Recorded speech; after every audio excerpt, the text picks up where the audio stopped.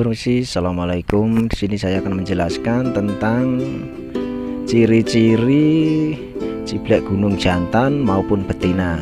Semoga bermanfaat penjelasan dari saya ini dan jangan lupa subscribe, like, komen di bawah ini dan aktifkan lonceng notifikasinya. Ciri-ciri perbedaan ciblek gunung jantan dan betina yang akurat. Burung ciblek gunung atau tribel atau ciblek pinus banyak dipelihara oleh para kicomania sebagai burung masteran ataupun burung lomba. Ciblek gunung memiliki suara tembakan yang panjang dan rapat sehingga sangat cocok untuk masteran burung-burung kicauan terutama burung-burung lomba seperti murai batu, cucak hijau, kacer, cendet, dan burung-burung lainnya. Tapi perlu diketahui bahwa hanya ciblek gunung atau ciblek pinus atau tribel jantan yang memiliki suara tembakan panjang, rapat dan keras dan speed rapat tanpa jeda. Untuk membedakan antara burung ciblek gunung jantan dan betina memang agak sulit, ter terutama bagi yang belum berpengalaman karena antara burung jantan dan betina memiliki penampilan fisik yang hampir sama. Berikut ini beberapa ciri yang membedakan antara ciblek gunung jantan dan betina. Ciri-ciri ciblek gunung jantan adalah ciblek gunung jantan memiliki warna bulu coklat tua dan berwarna lebih gelap dari ciblek gunung yang betina terutama pada bagian dadanya. Dan berikut ini beberapa ciri yang membedakan antara ciblek gunung jantan dan betina. Ciri-ciri ciblek gunung jantan, ciri ciblek gunung jantan memiliki warna bulu coklat tua dan warna lebih gelap. Sudah dijelaskan tadi di atas, warna paruh ciblek gunung jantan cenderung lebih hitam, terutama pada burung yang sudah dewasa. Pada bagian dalam mulut atau paruh ciblek gunung jantan berwarna kehitaman. Bagian dubur Ciblek gunung jantan bentuk cenderung agak kecil dan cukup panjang.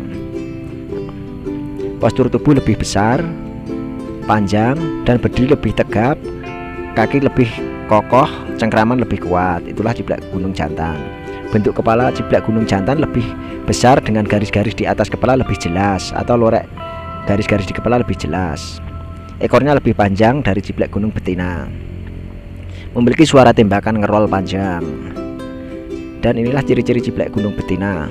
Ciblek gunung betina memiliki warna bulu yang lebih cerah dan ciblek gunung jantan eh, ciblek gunung betina memiliki warna bulu yang lebih cerah dan ciblek gunung jantan memiliki warna bulu yang lebih tegas. Hitamnya itu tegas, jadi kontras dan agak meling-meling, agak mengkilat gitu. Dan warna paruh bagian bawah pada ciblek gunung betina lebih cerah atau agak keputihan kalau ciblek gunung betina pada bagian dalam rongga mulut ciblek gunung betina berwarna lebih cerah atau kekuningan. Postur tubuh ciblek gunung betina lebih kecil dan pendek dengan ekor yang lebih pendek dari ciblek gunung jantan. Suaranya tidak ngerol seperti ciblek gunung jantan. Ciblek gunung merupakan salah satu jenis burung ciblek yang mempunyai tembakan sangat rapat dan keras apalagi dirawat sejak anakan atau trotolan. Ciblek gunung yang dipelihara sejak anakan ternyata bisa dimasteri dengan suara brem, keteran, suara seperti isian kenari, dan isian sepit-sepit yang lain yang merupakan uh, tembakan asli ciblek gunung seperti belalang, jangkrik, dan lain-lain. Hal itulah yang menjadi alasan kenapa para pecinta ciblek merawat calon gacuan ciblek gunung sejak dini atau sejak lolohan. Calon gacuan ciblek gunung sejak anakan atau melolos sendiri sampai ia gacor saat dewasa kelak akan bangga apabila masterannya bisa masuk ke memori ciblek gunung tersebut atau bisa dilantunkan dengan ciblek gunung tersebut sesuai keinginan sang majikan atau ndoronya. Namun tidak semua ciblek gunung bisa gacor dan mempunyai tembakan yang rapat. Ciblek gunung yang bisa gacor ngebrem merupakan cigun yang berjenis kelamin jantan. Selain untuk masteran cigun, juga bisa dilombakan di kelas ciblek loh. Kebanyakan pemenang di kelas ciblek adalah jenis ciblek gunung. Tapi tak banyak juga dari jenis ciblek kebon atau ciblek kristal atau ciblek semi. Suaranya yang rapat dan full durasi. Berarti bisa kita simpulkan bahwa memelihara cigun jantan sejak anakan bisa untuk dimasteri dengan suara tembakan lain yang sekiranya cocok untuk lidah cigun seperti suara tembakan ngebrem, suara tembakan keteran, suara cililin, suara kenari dan dan dan lainnya. Salah satu untuk membedakan cigun anakan jantan dan betina adalah dengan melihat ciri fisiknya, seperti melihat warna bulu, bentuk kepala dan ukuran badannya. Ciri-ciri cigun anakan jantan antara lain satu, warna kekuningan di mata. Coba Anda pegang dan amati pada bagian matanya. Pada cigun anakan jantan terdapat warna kuning-kuning di sekitar matanya atau lebih tepatnya di bagian kelopak mata. Warna kuning juga terlihat terang alias tegas, intinya begitulah kurang lebih mengenai kelopak matanya. Atau sulit dijelaskan dengan kata-kata bila tidak memperhatikannya sendiri. Kedua, bentuk kepala kotak dan besar. Ciri selanjutnya Anda bisa melihat bentuk kepalanya seperti apa sih? Bentuk kepala jantan kayaknya agak kotak besar. Anjiblek gunung jantan mempunyai kepala yang kotak besar dan terdapat banyak corak garis hitam yang tegas Untuk melihat bentuk ini sebaiknya Anda memandang dari agak jauh Sekitar satu meter sajalah untuk perbandingan satu dan satunya lagi Tiga paruh tebal berwarna hitam pekat Yang ketiga adalah dengan cara melihat bentuk paruhnya Agar bisa melihat dengan jelas, sebaiknya cikun dipegang kemudian diamati paruhnya. Walaupun cikun masih anakan, paruhnya akan tampak besar dan berwarna hitam pekat, khususnya pada bagian ujung paruh. Anda bisa banding-bandingkan dengan anakan lain jika terdapat ada banyak pilihan.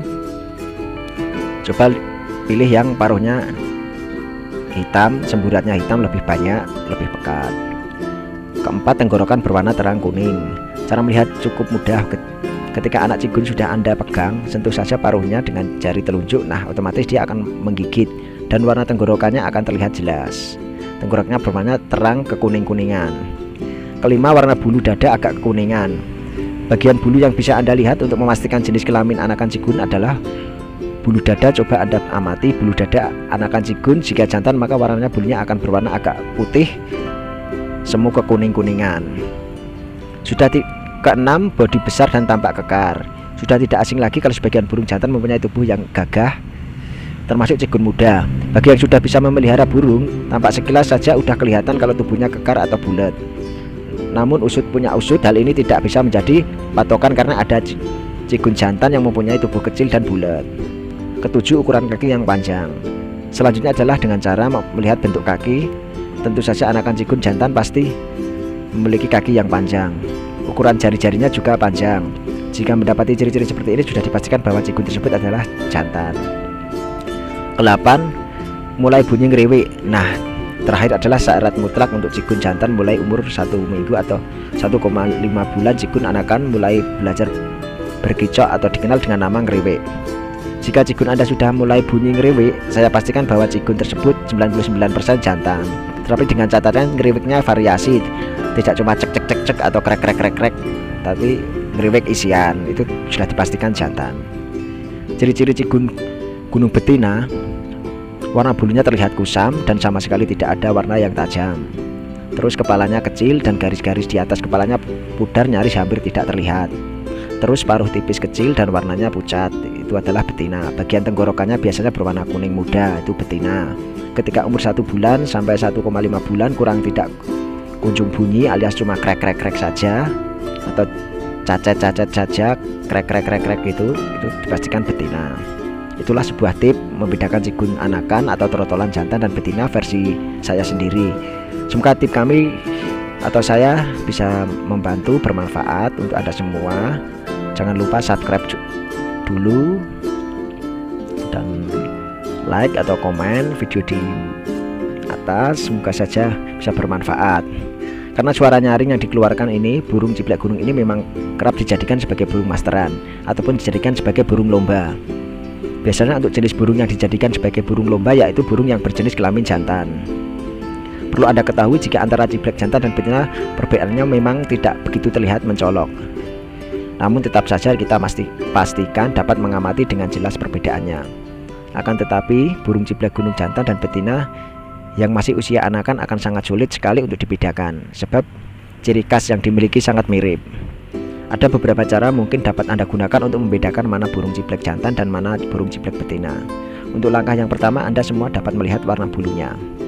Lalu untuk cara membedakan burung ciblek gunung jantan dan betina yang dengan melihat bentuk fisiknya. Dengan untuk yang cara yang ketiga bisa juga dengan melihat bentuk fisik atau coraknya. Namun perbedaan macam-macam ini mungkin hanya ada akurat apabila Anda lihat ini merupakan burung ciblek gunung yang sudah dewasa. Berikut cara lengkap untuk membedakan ciblek jantan dan betina. Ciri ciblek gunung jantan Ciblek gunung jantan pada umumnya memiliki warna yang lebih gelap daripada dengan yang berjenis kelamin betina. Untuk warna ini juga akan terlihat jelas di bagian dadanya. Dengan melihat hal ini, bisa mengetahui perbedaan antara burung ciblek gunung jantan dan betina. Anda juga bisa melihat pada bagian paruhnya untuk burung ciblek jantan pada umumnya akan memiliki warna yang berwarna hitam pekat apalagi Anda mencoba membuka mulutnya atau paruhnya rata-rata ciblek jantan memiliki warna yang lebih gelap atau cenderung berwarna hitam. Selain itu, Anda juga bisa mengamati pada bagian ciblek jantan cenderung mempunyai bentuk yang agak kecil dan cukup panjang. Untuk suara kicauannya yang dikeluarkan juga bisa lebih mantap apalagi dibanding dengan ciblek betina, lebih variasi. Dan untuk yang ciri-ciri ciblek gunung betina, untuk ciri khas dari ciblek gunung betina ini pada umumnya mempunyai warna yang lebih cerah daripada burung ciblek gunung yang berjenis kelamin jantan. Lalu untuk bagian paruh juga mempunyai warna yang lebih cerah. Lain halnya dengan burung ciblek gunung jantan yang paruhnya terlihat warna hitam lebih pekat. Mulutnya juga mempunyai warna yang lebih cerah serta cenderung berwarna agak kuning, apalagi, dibandingkan dengan burung yang ciblek gunung jantan. Yang berjenis jantan, suara kicauannya pun tidak sepanjang dikeluarkan oleh jeblek betina suara jantan lebih ngerol lebih nyaring memelihara burung ciblek gunung atau dari anakan menjadi kesukaan sendiri pada kicomania selain menjadi burung masteran burung ini juga dapat dilombakan dalam kelas campuran alasan kenapa suka memelihara trotol ciblek yaitu burung ini dapat dimasteri dengan suara sesuai keinginan kita hmm. ciblek gunung biasanya juga dimanfaatkan untuk memasteri kicauan-kicauan seperti murai, kacer, pentet, dan lain-lainnya. Suaranya yang mau ditirukan kelebihan dan lain dari anakan ciblek gunung ini adalah mudah diisi dengan burung lain dan akan membawa isian lebih panjang dari burung aslinya. Banyak cara untuk membedakan jantan betina anakan ciblek gunung. Di antara adalah warna bulu dan ciri-ciri fisik seperti yang telah saya praktekkan dan ke keakuratannya mencapai 80% seperti bawah ini. Trotol cigun jantan mempunyai warna kuning di sekitar mata, sedangkan yang betina bulunya cenderung putih kusam. Kaki jelas terlihat panjang dan kokoh untuk yang jantan. Kepala terlihat besar dan kotak untuk anakan jantan. Dan ciri-ciri jantan betina dari sumber orang-orang yang berpengalaman sebagai berikut. Ciri gunung jantan adalah kaki lebih besar dan berwarna kecoklatan, Pen dubur lebih menonjol dan berbulu lebih banyak. Warna lebih tajam dan cenderung seperti berminyak. Kepala lebih besar dengan corak lirik-lirik di kepala bagian atas lebih jelas dan tegas. Paruh lebih tebal dan cenderung lebih gelap. Bulu bagian bawah paruh lebih bersih. Warna kuning di bagian dalam tenggorokan lebih tajam. Dan ciri-ciri ciblek betina ada antara lain kaki lebih kecil dan berwarna kemerah-merahan atau pink. Jari kaki pendek kaki lebih pendek kalau betina pendubur kecil dengan hanya sedikit bulu warna lebih kusam dan tidak berminyak kepala dan paruh lebih kecil dan warna corak lirik di kepala bagian atas dubur atau samar-samar. Paruh tipis dan cenderung berwarna lebih muda atau coklat dan pink itulah betina. Bulu bagian bawah paruh terlihat terkesan agak kotor itu betina. Di bagian dalam tenggorokan berwarna kuning muda itu betina. Demikianlah tip-tip dari saya pribadi semoga saja bermanfaat. Dan jangan lupa like, subscribe dan aktifkan lonceng notifikasinya semua. Semoga bermanfaat untuk Anda semua. Salam Bram Tanborem, salam Ciplek Mania Nusantara dari Sabang sampai Merauke dan tak lupa saya ucapkan wassalamualaikum warahmatullahi wabarakatuh. Sukses selalu untuk Anda semua. Amin amin ya rabbal alamin. Assalamualaikum.